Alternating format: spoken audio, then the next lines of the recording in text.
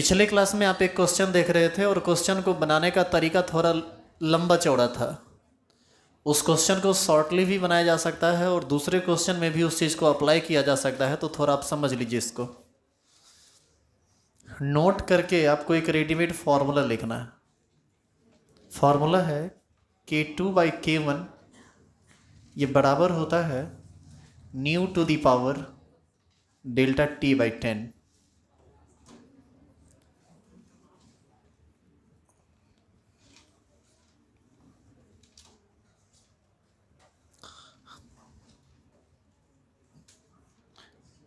K one अब शांत हो जाइए हल्ला क्यों कर रहे हैं?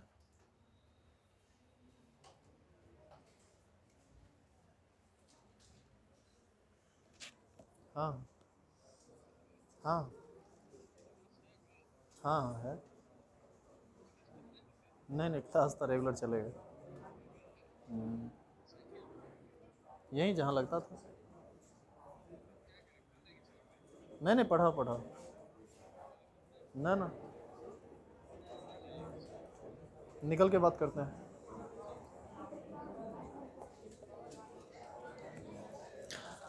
देखिए के वन जो है, यह इनिशियल रेट कांस्टेंट है।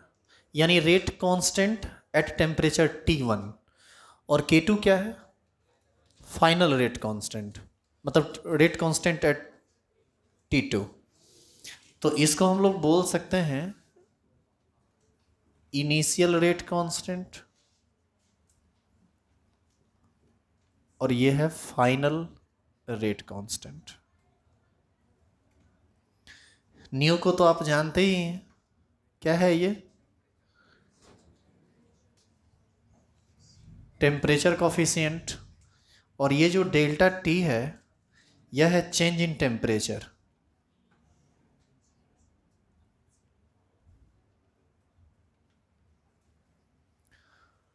जब भी आप किसी भी चीज़ का चेंज निकालते हैं तो वो फाइनल माइनस इनिशियल होता है। जैसे पिछला क्वेश्चन जो आपको दिया गया था टेम्परेचर को कहाँ से कहाँ तक राइज किया गया था? टेन डिग्री से हंड्रेड डिग्री सी तक। तो फाइनल टेम्परेचर हंड्रेड हुआ इनिशियल टेम्परेचर टेन हुआ डिफरेंस निकालेंगे तो हंड्रेड माइनस टेन करेंगे, कितना आ जाएगा? नाइन्टी तो अब जो क्वेश्चन आप पिछला किए थे, उस क्वेश्चन को हम इस मेथड से सॉल्व करते हैं। देखिए क्या है। इसको उतार लिए क्या? उतारिए पहले।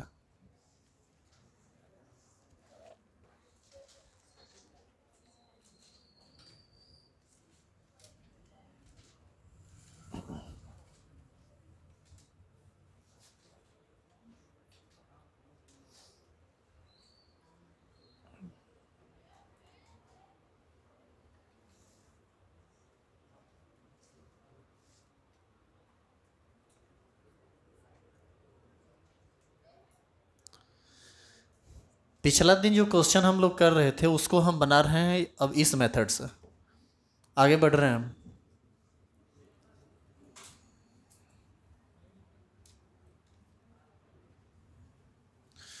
उस क्वेश्चन का ये सेकंड मेथड होगा।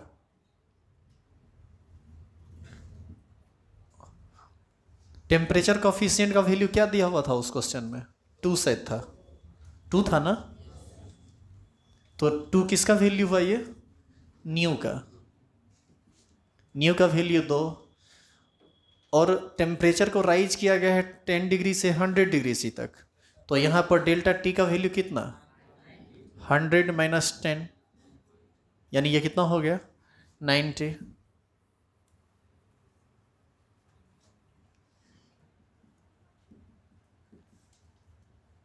पूछ क्या रहा आपसे? आपसे पूछ रहा है how many times the rate constant of reaction increases मतलब रेट रेट कांस्टेंट कितना टाइम्स बढ़ जाएगा? तो इस इक्वेशन के हिसाब से आपको क्या पूछ रहा है? के टू के वन या क्या पूछ रहा है? के टू बाई के वन पूछ रहा है, ऐसे समझिए। यदि आप ये लिखा हुआ देखते हैं, इसका क्या मतलब समझते हैं? इसका यही मतलब है ना कि के टू जो है वह के वन का दोगुना है। यदि हम के वन को इधर ले लें तो K two by K one बराबर दो। इसका मतलब यही हुआ ना कि के टू बाई के वन यदि हम निकाल लें तो पता चल जाएगा कि के टू कितना टाइम्स ज़्यादा है। यानी आपसे पूछा जा रहा है के टू बाई के वन अब आप उस फॉर्मूला पर सॉल्व कर दीजिए। क्या था formula K two by K one is equal to mu to the power delta T by ten K two by K one ही आपको निकालना है। तो K two by K one is equal to mu कितना है?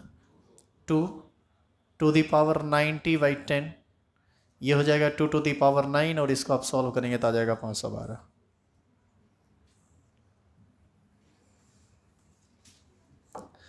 तो यहाँ पर के टू बराबर हो जाएगा five hundred twelve into K one तो जो चीज़ वहाँ आया था, वही चीज़ यहाँ भी आया। तो यहाँ से हम लोग लिख सकते हैं फाइव हंड्रेड ट्वेल्व टाइम्स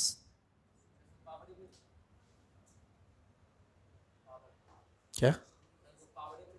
छोड़ दीजिए। क्वेश्चन है, छोड़ ना दो। बनाना क्या ज़रूरी? सॉल्व करने लायक है, सॉल्व कर दीजिए। बड़ा है, छोड़ दीजिए।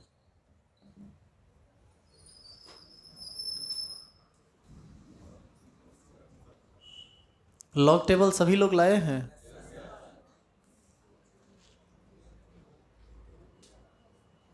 लिखिए क्वेश्चन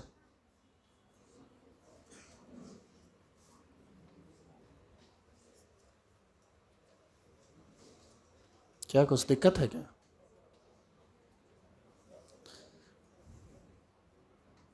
लिखेंगे the temperature coefficient of a reaction is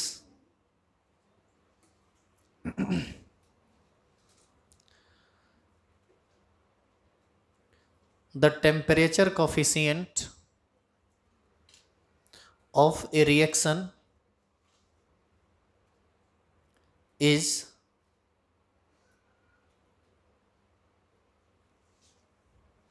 two point three two point three how many times full stop के बाद how many times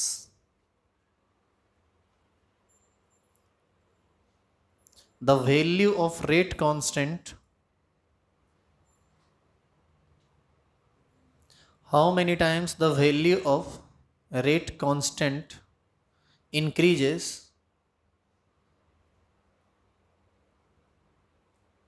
if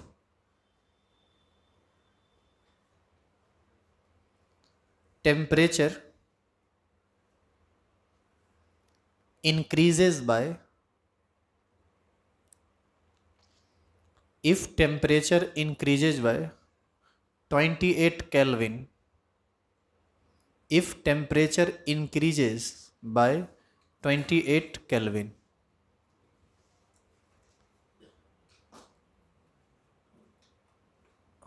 अच्छा ये 28 केल्विन क्या दिया आपको?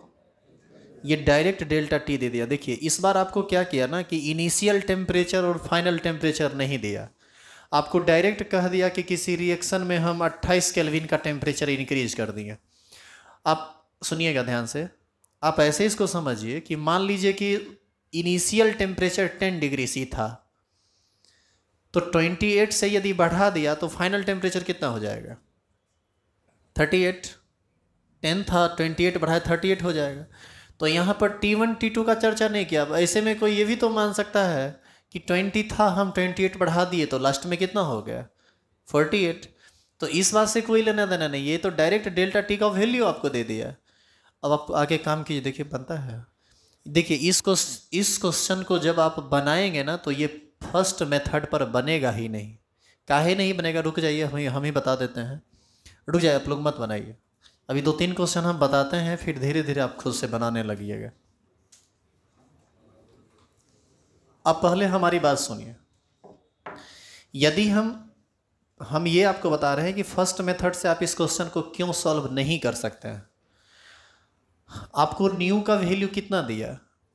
2.3 और आपको कहता है कि हम टेम्परेचर को 28 केल्विन से राइज कर रहे हैं। यानी आपको डेल्टा टी दे दिया 28 तो डेल्टा टी को हटाइए। फ़र्स्ट मेथड में तो डेल्टा टी का कोई बात ही नहीं है। मान लीजिए इनिशियल टेम्परेचर 10 डिग्री से। और उस समय जो रेट कांस्टेंट है, उसको आप मान लीजिए कि ये एक गलत तरीका है। हम आपको बता के साबित करेंगे कि ये गलत कैसे हो जाता है, इसलिए हम ज़्यादा ढंग से इसको लिख नहीं रहे। आप इसको लिखिएगा मत। मान लीजिए initial temperature ten degree C था, जब उसका रेट कांस्टेंट कितना था, के अब हम इसको करते हैं ट्वेंटी डिग्री से। तो ज़रा बताइए तो के का वैल्यू कितना हो जाएगा? मतलब ये कितना रेट कांस्टेंट कितना हो जाएगा? टू पॉइंट थ्री के कल टू के था, आज टू पॉइंट थ्री के, कल न्यू था का न्यू का वैल्यू दो था, आज तो न्यू का वैल्यू टू पॉइंट थ्री है। थर्टी के पर, थर्टी डिग्री सी पर, फोर पॉइंट, कैसे फोर पॉइंट सिक्स आप बोल रहे हैं? फिर टू पॉइंट थ्री में टू पॉइंट थ्री से मल्टीप्लाई होगा। अरे जो वैल्यू है उसमें ना आप लगातार मल्टीप्लाई करते चलेंगे। आप लगातार पिछला क्लास को पकड़े हुए कुछ था क्या विशेष पिछला क्लास में? Two point three into two के हो जाएगा। तो जो भी वैल्यू आएगा वो आएगा। फिर जो भी आएगा, हटाइए उसको। क्या आएगा, नहीं आएगा, हटाइए। अरे, जो भी आएगा उसको छोड़िए आप। जो कि गलत है, इसलिए हम उस पर ज़्यादा चर्चा नहीं कर रहे। अब ज़रा बताइए कि फोर्टी के पर कितना होगा? फोर्टी डिग्री सी पर कितना होगा? ये वैल्यू जितना आएगा, उसमें हम 2.3 से गुना करेंगे। आप याद कीजिए, जो वैल्यू आता जा रहा था टू से मल्टीप्लाई होता जा रहा था ना, क्योंकि न्यू का वैल्यू टू था। यहाँ जो भी आता जा रहा है, उसमें 2.3 से मल्टीप्लाई होता जा रहा है, क्योंकि न्यू का वैल्यू 2.3 है। लेकिन क्या 10 और 40 में डिफरेंस 28 का है? कितना का है? 30 का। डिफरेंस कितना रखना है? 28 इसका मतलब आप जो यहाँ पर 40 किए हैं, इसको आपको क्या करना पड़ेगा? 38 और 38 कीजिएगा, तब आप ये वैल्यू बोल ही नहीं पाइएगा। क्यों नहीं बोल पाइएगा?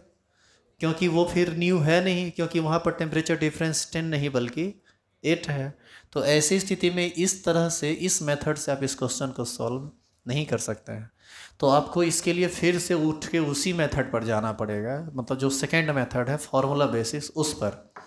न्यू का वैल्यू 2.3 है डेल्टा टी का वैल्यू 28 है 28 केल्विन है शायद, जो भी है। और क्या है? पूछ क्या रहा है? के टू बाय के वन ये ना आपसे पूछा जा रहा है। अब बताइए के टू बाई के वन बराबर क्या होता है? Nu to the power delta T by ten तो यहाँ से K two by K one बराबर न्यू का वैल्यू टू पॉइंट थ्री का power twenty eight by ten और जब हम ऐसा करेंगे तो K two by K one बराबर हो जाएगा two point three to the power two point अब आप देखिए कि आप एक ऐसे कैलकुलेशन में पहुँच चुके हैं जहाँ पर बिना लॉग के आप सॉल्व करना बहुत मुश्किल होगा। बिना लॉग के कोई कौन कौन आदमी इसको सॉल्व कर सकते हैं? हैज़ पॉसिबल आपसे? इसीलिए लॉग टेबल ज़रूरी है। और जबकि ये एकदम साधारण कैलकुलेशन है अभी लॉग का। धीरे धीरे बहुत हार्ड हार्ड कैलकुलेशन आएगा। सुनिए अब, आप रुकिए, हमको एक बना लेने दीजिए, फिर आप बनाइएगा। एक तरीका समझ लोगे ना तो बनाना आसान हो जाता है। जब इस तरह की बातें हो जाए अब देखो 2.3 का पावर टू रहता तो बड़ा आसान था, इसको हम लिख सकते थे 2.3 point three into two point three या 2.3 का पावर थ्री रहता तो लिख देते 2.3 point three into two point three into two point three लेकिन ये पावर में डिसिमल आके सब चौपट कर दिया। है तो ऐसी स्थिति में क्या कीजिए, आप दोनों तरफ़ लॉग ले लीजिए। इक्वल के दोनों साइड लॉग ले लीजिए। और जब आप लॉग लेंगे तो ये हो जाएगा log K two by K one बराबर लॉग टू पॉइंट थ्री का पावर टू पॉइंट एट यहाँ से हम लोग लिख सकते हैं लॉग के टू बाई के अब देखो, इसको फॉर्मूला पर तोड़ना मत। इसलिए नहीं तोड़ना, क्योंकि तुमको के टू या के वन का मान नहीं निकालना है। तुमको K two by K one ही ना चाहिए। इसको अलग मत करना, जैसा चल रहा है चलने दीजिए। ये log M to the power n के फॉर्म में है। यहाँ पर पावर मल्टीप्लाई हो जाएगा। ये हो जाएगा two point eight into log two point three log देखो, यही आसान कर देता है। लॉग लेने पर जो लॉग लेने के बाद जो पावर होता है, वो गुना में बदल जाता है और गुना करके उसको निकाला आसानी से जा सकता है। तो यहाँ से log K two by K one बराबर 2.8 इस इन टू लॉग 2.3 का आप तो वैल्यू देखना पड़ेगा आपको। आप याद कीजिए अच्छा यहाँ कुछ नहीं है तो बगल में ज़ीरो ज़ीरो लिख सकते हैं। दशमलव से पहले एक अंक है। उसमें एक घटाते थे तो बचता था ज़ीरो। अपने मन से डिसिमल डालिए और ट्वेंटी थ्री का ज़ीरो देखिए। लॉग टेबल में ट्वेंटी थ्री का ज़ीरो देखिए। छत्तीस, सत्रह। यही है क्या? अब आप इसको मल्टीप्लाई कर दीजिए। Log K two by K one इसको मल्टीप्लाई कीजिए।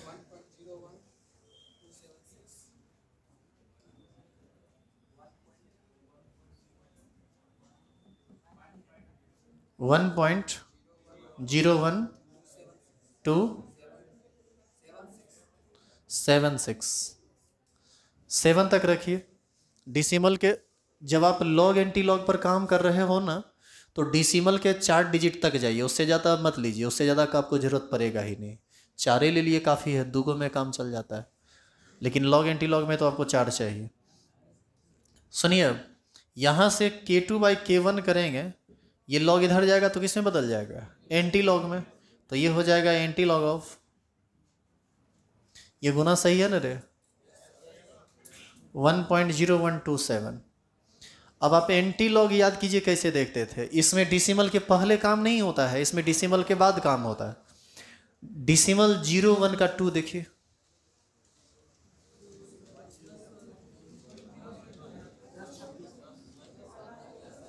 लॉग टेबल कहाँ है तुम्हारा? आज भूल गया। देख के बताओ खड़ा होकर इसको बताने दो। चलो खड़ा होके बताओ तो एंटी लॉग इस, इसका वैल्यू हमको देख के बताओ तो। इसका वैल्यू क्या देखेगा कैसे कैसे निकलेगा हमको बताओ। बहुत मज़ाक कर लिया तो पढ़ाई लिखाई के साथ। अब थोड़ा पर थोड़ा विशेष ध्यान देना पड़ेगा।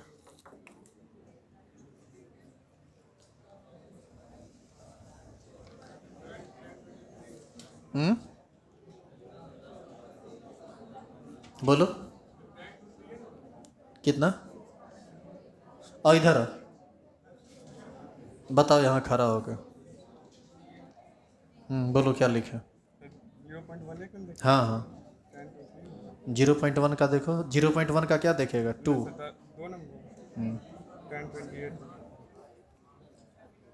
दस सौ अट्ठाईस अरे मेन डिफरेंस किसका देखेगा? कहाँ है मेन डिफरेंस यही है मेन डिफरेंस कि ये है मेन डिफरेंस कहाँ ध्यान रहता है? जाओ बैठो।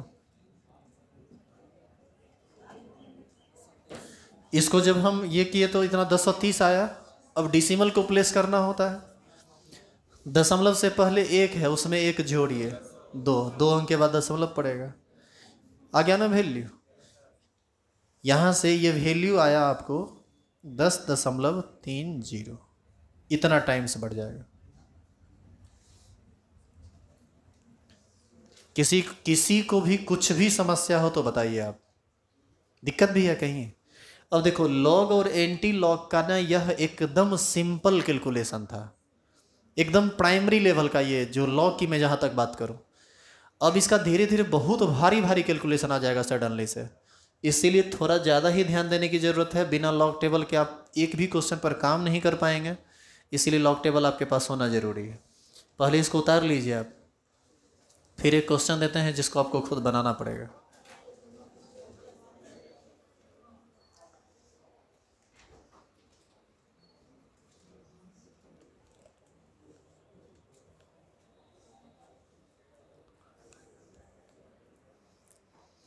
क्लास कहीं बंद तो नहीं हुई है ना आप लोग की? क्लास चलता रहेगा, क्लास बंद नहीं हो हाँ? कहाँ छापा पड़ा? किन क्या बाघा में पढ़ते रहता है। और दूसरा यहाँ भी जब पढ़ेगा ना तो बंद कर देंगे। जब तक नहीं पढ़ रहा है तब तो तक पढ़ाई, पढ़िए।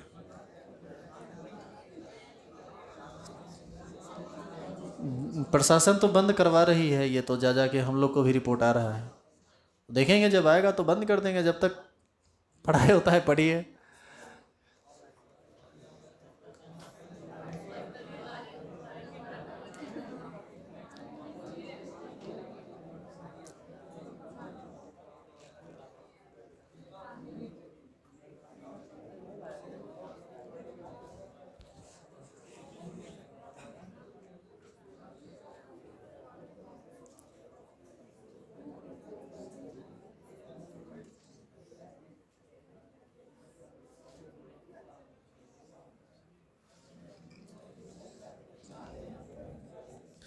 लिखिए तो अगला क्वेश्चन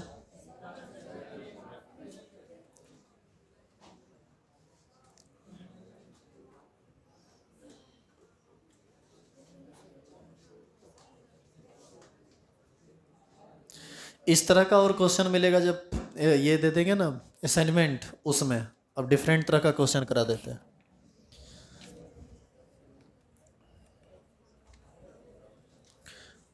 लिखा क्या?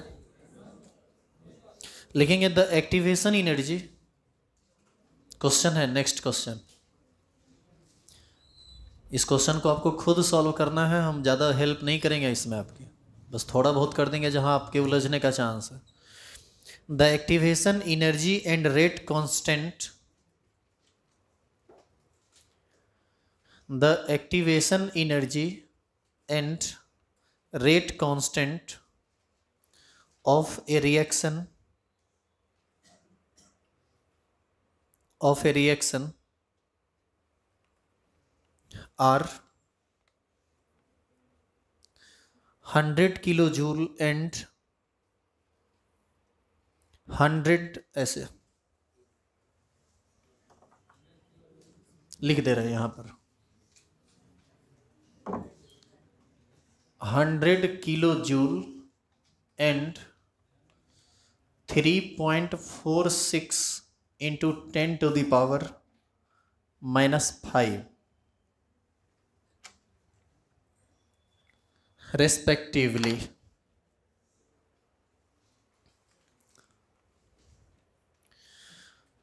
Ten to the power minus five respectively at two ninety eight Kelvin. At two ninety eight Kelvin. Calculate the rate constant calculate the rate constant of reaction at 310 Kelvin 310 at 310 Kelvin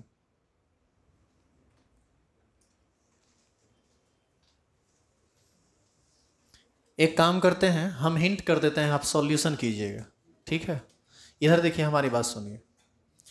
आपसे question में कहता है कि the activation energy and rate constant of a reaction are दो चीज़ दिया आपको। क्या क्या एक्टिवेशन एनर्जी दिया और रेट कांस्टेंट दिया। और ये टेम्परेचर कितना कह रहा है? 298 नाइन्टी एट केल्विन यानी आपको पहला बार में टेम्परेचर भी दे दिया। आगे एक और टेम्परेचर देता है आपको और कहता है कि उस टेम्परेचर पर रेट कांस्टेंट निकालिए। आप गौर से देखिए 298 से बढ़कर 310 हुआ है टेम्परेचर राइज कर गया है। तो के का मान भी बढ़ जाएगा।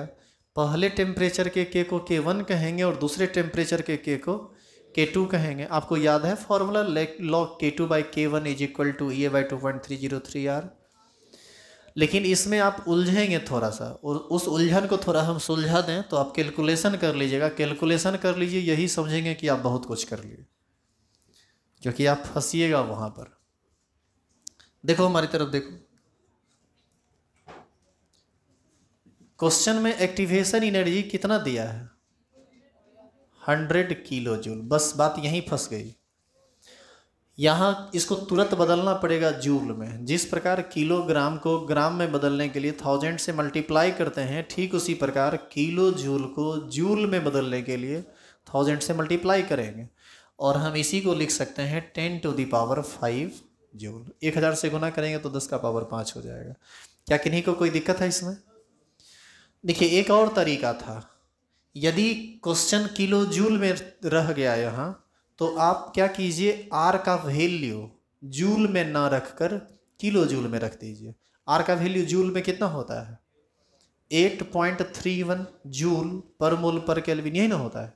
कुछ नहीं कीजिए, उस जूल को किलो जूल में बदल दीजिए। जूल को किलो जूल में बदलने के लिए थाउज़ेंड से डिवाइड कर देंगे। यानी वो हो जाएगा, तब हो जाता value eight point three one by thousand फिर जूल नहीं रहो के हम क्या बोलते किलो जूल। तो दोनों काम नहीं कर देना है। दो में से कोई एक काम करना है। यदि आप यहीं पर इसको जूल में बदल दीजिए तो वो वैसे रहने दीजिए। आपको केवन दिया हुआ है। कितना है? Three point four six into ten to the power minus five T one आपको दिया हुआ है टू नाइन्टी एट आपसे के टू पूछ रहा है एक दूसरे टेम्परेचर पर। और वो टेम्परेचर कितना है? थ्री हंड्रेड टेन कैलविने में है ना रे? इस बात का भी विशेष ध्यान रखना पड़ेगा। टेम्परेचर हर हाल में किसमें रहना चाहिए? कैलविन में। आर का वैल्यू यदि आप यहाँ पर जूल में बदल दिए हैं तो आर का वैल्यू होगा एट पॉइंट थ्री वन यही न होता है।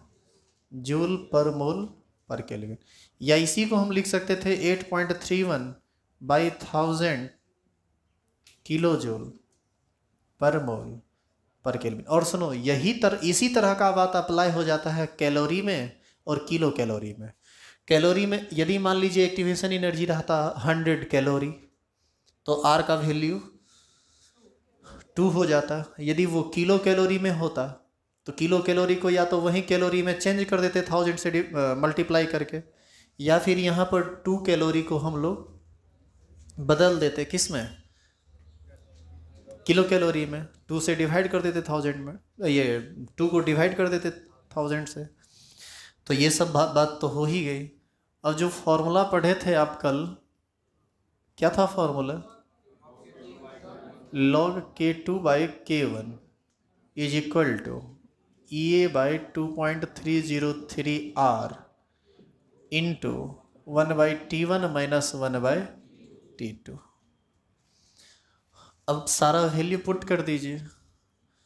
के टू ही ना आपसे पूछा जा रहा है।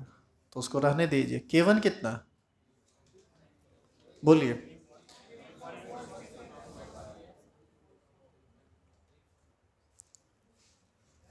आप एक काम कीजिए। इस कैलकुलेशन को और आसान करना है ना तो के वन का मान अभी आप मत रखिए। के वन रहने, ऐसे तो के वन दिया हुआ है ना, लेकिन के वन का वैल्यू रख दीजिएगा तो कैलकुलेशन और लेंदी हो जाएगा। हाँ बाद में उसको कर लेंगे के वन का वैल्यू रख देंगे। ये का वैल्यू कितना? जूल में ही रख दो। Ten to the power five by two point three zero three R का value eight point three one. अब एक चीज़ गौर करो। ये जूल में था तो ये जूल में रहा। यदि ये किलो कैलोर, किलो जूल में ही रहता तो तो हंड्रेड रहता। तो यहाँ पर हमको इस जूल को बदलना पड़ता किसमें? किलो जूल में। अच्छा नीचे यदि हम थाउज़ेंड से डिवाइड करेंगे तो ये तो फिर ऊपर जाके वही हो जाएगा, गुना में बदल जाएगा। इसीलिए ना हम कह रहे थे दोनों में से कोई एक काम करना है। तो सब बात एक ही है, फिर। Into one by T one कितना? टू नाइन्टी एट और minus one by three one zero क्या कोई दिक्कत है? अब यहाँ से log K two by K one बराबर। दस का पावर पाँच। अब इसको कुछ मल्टीप्लाई करेंगे तो कुछ तो होगा ये। अब ये करना पड़ेगा आपको। और नीचे कितना हो जाएगा? Two ninety eight into three hundred ten और ये हो जाएगा three hundred ten minus two अब गुना भाग कीजिए, तब ना मज़ा आएगा। खाली केमिस्ट्री पढ़िएगा। कीजिए आगे। देखो इधर वाला सारा चीज़ क्लियर कर लो, ठीक है? उसके बाद क्या करना K two by K one करके एंटी लॉग समझ रहे हैं हम? आप क्या कह रहे हैं? हम क्या कह रहे हैं? के टू बाई के वन को अलग कर लेना लॉग उधर जाएगा तो एंटी लॉग में बदल जाएगा। एंटी लॉग वगैरह निकाल लेना के टू बाई के वन तक निकाल लेना, और बाद में क्या करना के वन का वैल्यू पुट कर देना। तो अपने आप निकल जाएगा कि जो एगो रेस्ट बचता है। और अभी हम देखेंगे आप सबका कॉपी तनी बनाइए बढ़िया से। अच्छा एक चीज़ देखिए, इसमें लॉग आ गया ना जी? लॉग आया कि नहीं आया? अब फिर लॉग का कंसेप्ट जिसके पास नहीं होगा, वो नहीं कर पाएगा। इसीलिए हम बार बार कह रहे थे कि, लगातार कह रहे थे कि लॉग को देख लीजिए रिवाइज कर लीजिए। पता नहीं आप कितना किए, नहीं किए तो हम नहीं जानते हैं। लेकिन इसके बिना आगे की पढ़ाई संभव नहीं है इस चैप्टर में।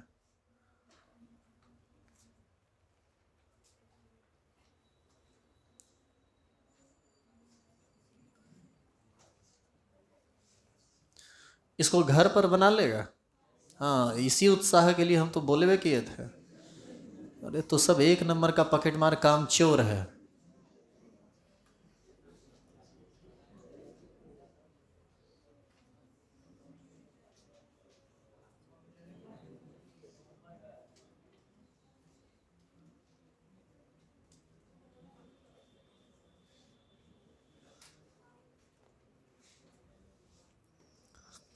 ठीक है, कल बना के लाइएगा, अगला क्वेश्चन लिखिए।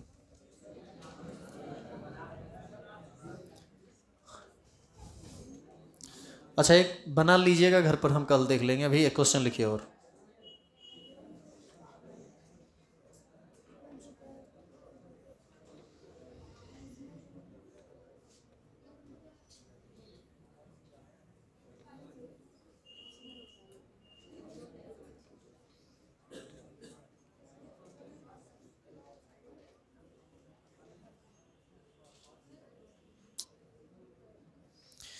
ये क्वेश्चन आईआईटी में पूछा था। देखो क्वेश्चन कितना कितना बढ़िया क्वेश्चन है। मतलब तुम ऐसा हम, ये देखो क्वेश्चन को देखकर ना तुम मेंटलिटी को समझो कि आईआईटी का मेंटलिटी क्या होता है। कोई विशेष थ्योरी नहीं होता है, कुछ खास बात नहीं होती है। जो तुम पढ़े हो, उसी को पूछेगा वो। लेकिन वो इस तरह से पूछेगा कि तुमको उलझा देगा। तुमको लगेगा कि ये सब बात हमको पते नहीं है, जानते ही नहीं। क्वेश्चन लिखिए। लिखेंगे the rate constant of reaction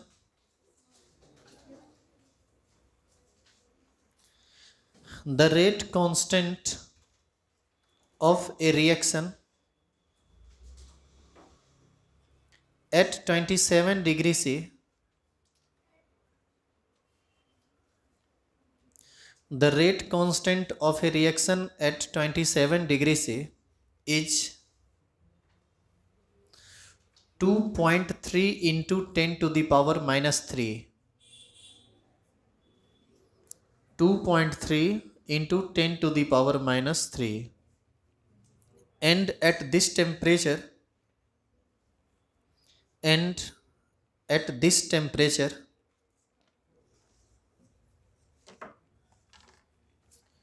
Zero point zero zero one percent of reactant molecules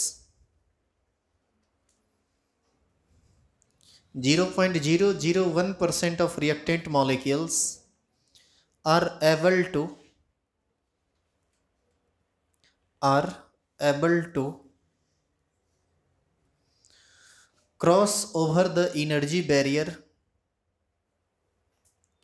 cross over the energy barrier existing between existing between reactant and product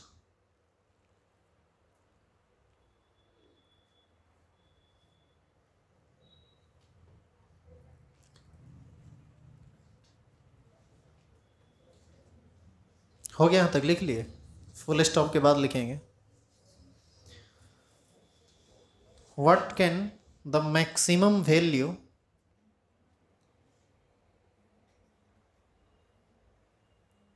what can the maximum value of rate constant? What can the maximum value of rate constant? Obtained by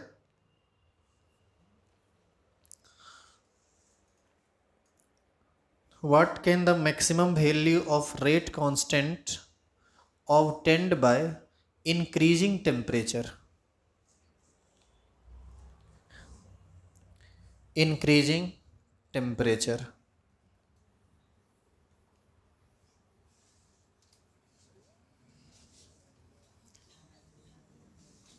सबसे पहले question के language को समझिए। जो theory आप पढ़े हैं, उस थ्योरी से आप इस चीज़ को जोड़ने का प्रयास कीजिए। आपको सब चीज़ बिल्कुल ट्रांसपेरेंटली दिखता चला जाएगा।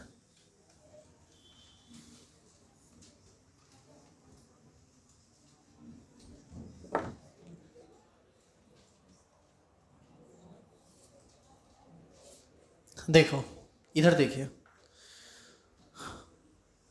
सबसे पहला जो लाइन है क्वेश्चन का, क्या है बताइए तो क्वेश्चन का सबसे first line the rate constant of a reaction यानी आपको क्या दे दिया? के का वैल्यू कितना दिया?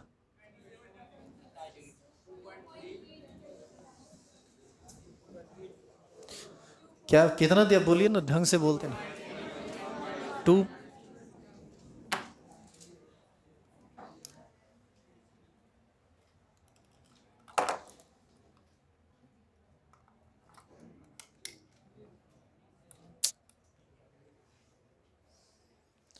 अब बोलेंगे हम ऐसे ही, सुनिए आप लोग। बैटरी अब उधर से निकालना पड़ेगा, उतना टाइम नहीं है। के का वैल्यू कितना दिया हुआ है? Two point three into ten to the power minus three temperature कितना दिया हुआ है? इसको थ्री हंड्रेड कैलविन लिख सकते हैं? आवाज़ नहीं जाता है।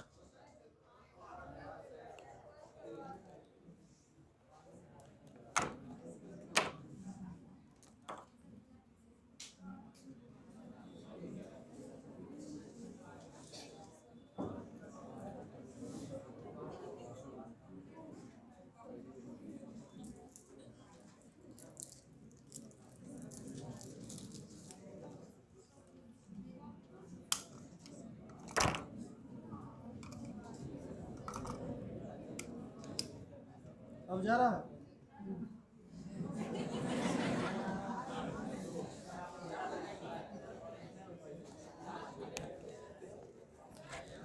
अब जा रही है आवाज़?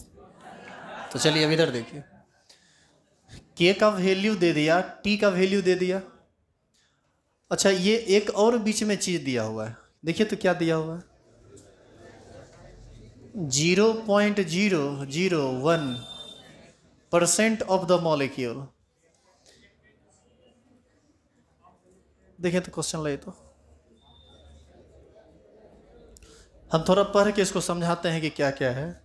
क्वेश्चन है कि the rate constant of a reaction at 27 degree C temperature दे दिया 27 डिग्री सी पर के का मान आपको दे दिया।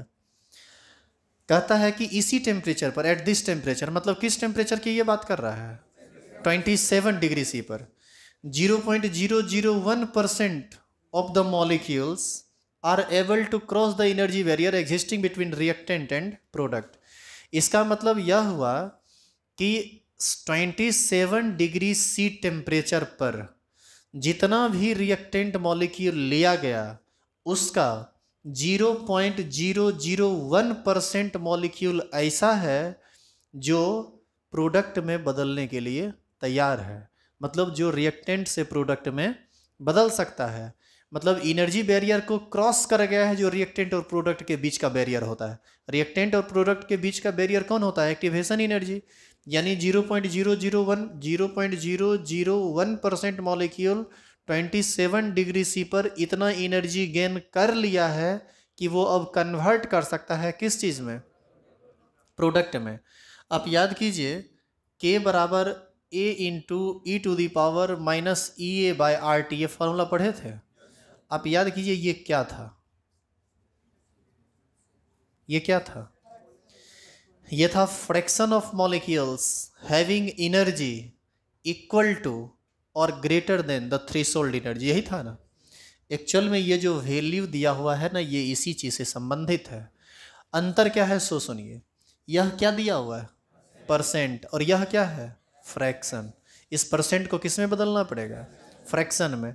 तो ज़रा बताइए कि 100 में इतना मॉलिक्यूल इनर्जी बैरियर को क्रॉस कर गया, यानी 100 मॉलिक्यूल में इतना मॉलिक्यूल प्रोडक्ट में बदल सकता है। तो बताइए, एक मॉलिक्यूल यदि लेते तो कितना में, कितना बदलता?